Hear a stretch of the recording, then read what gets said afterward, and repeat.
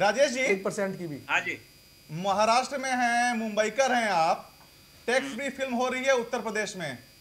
योगी आदित्यनाथ को लेकर मुंबई में और महाराष्ट्र में क्या रिएक्शन है मराठों के बीच में?